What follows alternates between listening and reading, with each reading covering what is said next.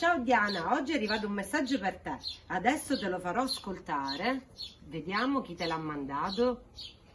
Ciao Diana, sono Marta. Come stai? Io sto così così perché sono a casa e non ti posso vedere. Scusa se non ti porto né carote né biscottini. Speri- speriamo di vederci presto. Eh, tanti auguri e buona Pasqua.